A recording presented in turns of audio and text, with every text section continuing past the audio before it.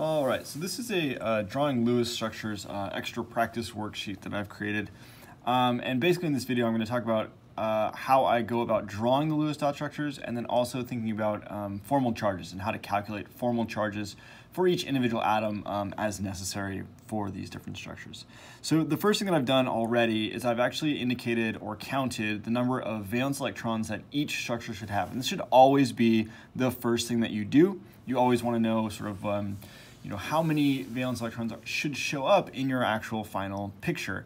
If you have the wrong number of valence electrons in your picture, it's guaranteed to be wrong. So that should be step one, okay? So for this first one, this uh, formula is actually giving us a lot of information, a lot of hints on how to properly draw it. Since it's CH3, CH2, COOH, that really gives us some information or hints on the connectivity or the different groups that should be um, in my picture.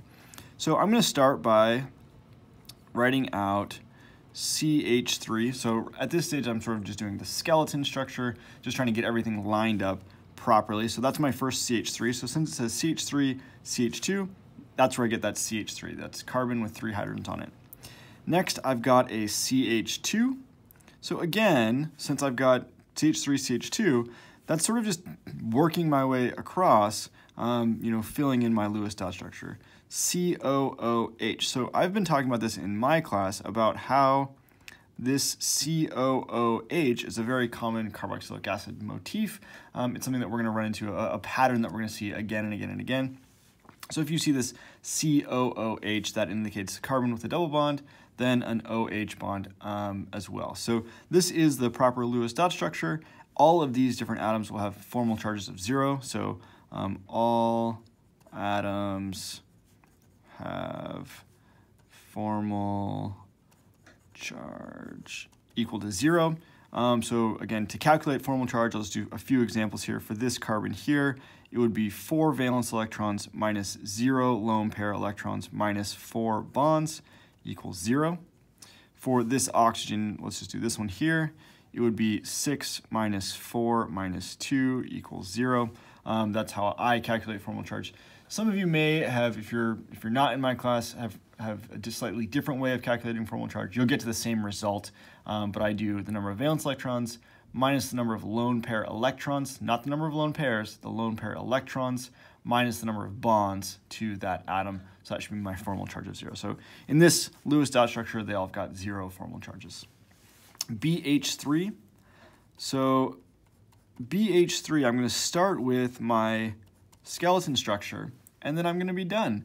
So I've only got six electrons. I know that I've got two electrons in each bond. So that's, that's really all I can do. I can put those three different groups around my boron, um, and, and that's it. This boron is not following the octet rule, um, and that's okay. So sometimes if we have small atoms, basically from boron smaller, so boron, helium, obviously, hydrogen, we have a, a familiarity with that, not following the octet rule. Boron's sort of the same thing. If you calculate the formal charge, 3 minus 0 minus 3 equals 0. So when we break the octet rule, uh, if we are having a formal charge equal to 0, that should sort of be okay. Carbon, nitrogen, oxygen, and fluorine are really never going to break the octet rule.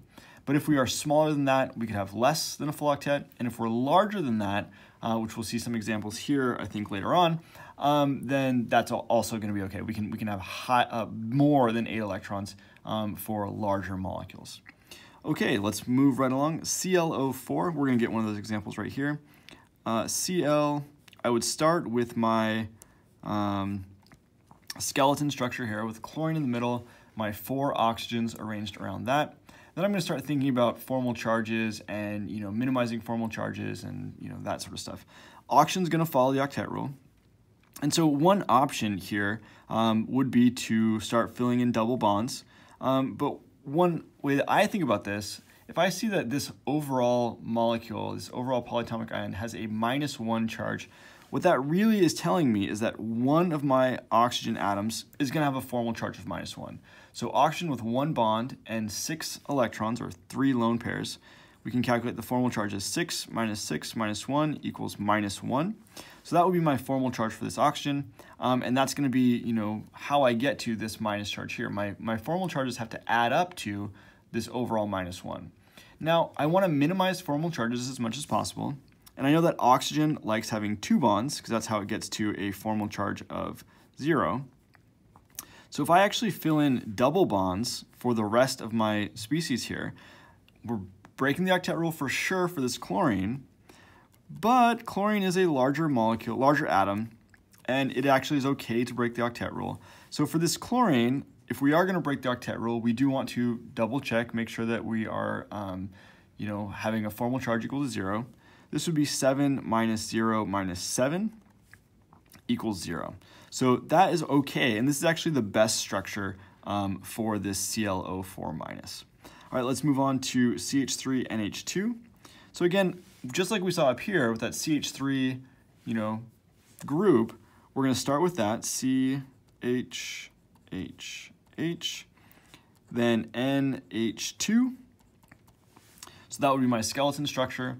Uh, I can see that this nitrogen has not fulfilled the octet rule yet. Um, let's count our electrons, 2, 4, 6, 8, 10, 12. I've got two electrons left over. We'll put those right on that nitrogen. Now we're fulfilling the octet rule and we've got minimized formal charges. Carbon nitrogen will always follow the octet rule, keep that in mind. Um, so this is actually the best structure here for my CH3NH2. Everything here has zero formal charges.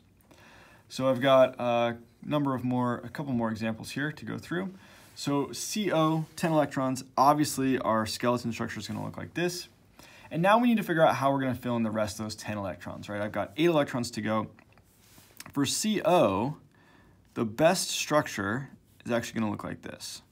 So here, I'm following the octet rule. I've got to follow the octet rule for carbon and oxygen, right? So CO and F always follow the octet rule.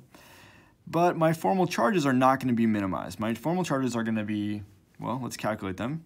6 minus 2 minus 3 equals plus 1. And for carbon, it's going to be 4 minus 2 minus 3 equals minus 1. So I would have a formal plus 1 charge here and a formal minus 1 charge on carbon. Um, and that's okay, right? So for these situations, we're going to have to uh, follow the octet rule for carbon and oxygen. So this is the best structure that we can draw. Um, minimizing formal charges as much as possible, right? We don't want these to be like plus three or two or whatever, right? We want to minimize them as much as possible, but this is the best way for us to do that. PCl5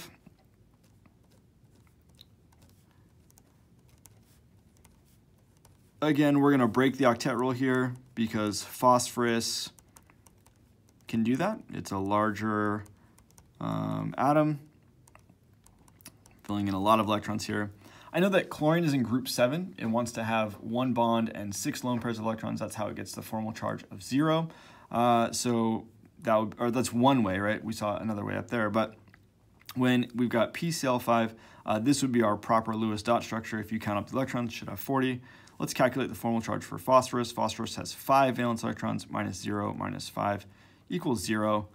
So again, we're breaking the octet rule, but since our formal charge is 0, we should be okay with that. H3O plus.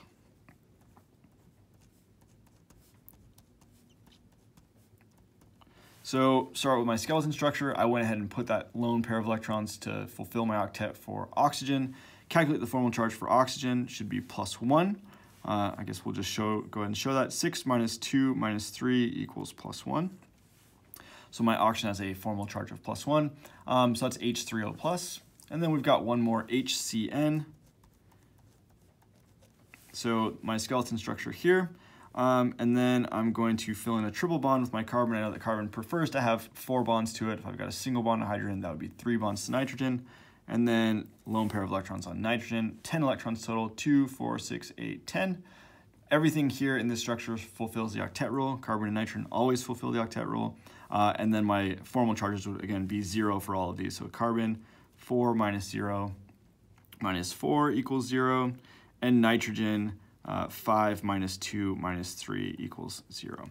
All right, so this is just a variety of different uh, Lewis dot structures. If you have any questions about any of these, feel free to comment below. Um, hopefully you find that helpful.